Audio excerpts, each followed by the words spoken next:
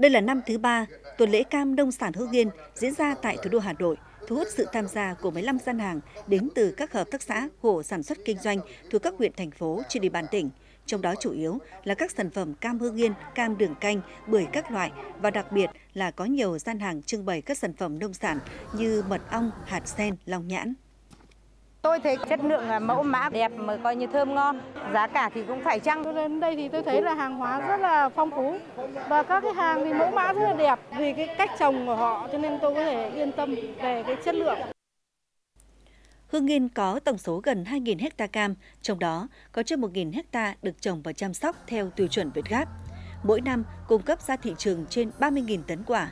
Tuần lễ cam và nông sản Hưng Yên năm 2020 diễn ra từ ngày 26 tháng 11 đến hết ngày 1 tháng 12, góp phần quảng bá, giới thiệu với người tiêu dùng tại Hà Nội cũng như các tỉnh thành phố trên cả nước về cam Hưng Yên cũng như các sản phẩm nông sản nổi tiếng khác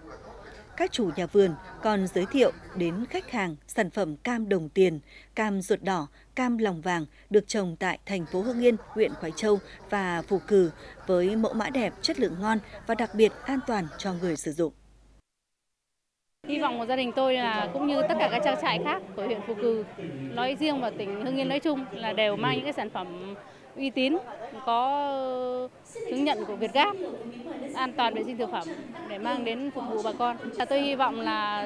tất cả các trang trại ở đây đều quảng bá được và bán được ờ, nhiều hàng và quảng bá được nhiều sản phẩm của trang trại nhà mình. Mong muốn của hợp tác xã tôi là mở rộng cái thị trường hơn và cái thứ hai là để mọi người nhiều người biết hơn về cái chất lượng và cũng như sản lượng của hợp tác xã bên tôi cung cấp. Năm 2020 được đánh giá là một năm được mùa cam của bà con nông dân trên địa bàn tỉnh Hưng Yên. Tuy nhiên, do ảnh hưởng của dịch bệnh Covid-19 nên việc tiêu thụ cam đầu vụ đã gặp rất là nhiều khó khăn. Hy vọng rằng tuần lễ cam và nông sản Hưng Yên được tổ chức tại siêu thị Mê Linh Plaza, quận Hà Đông, Hà Nội sẽ là cơ hội để bà con nông dân ký kết các hợp đồng tiêu thụ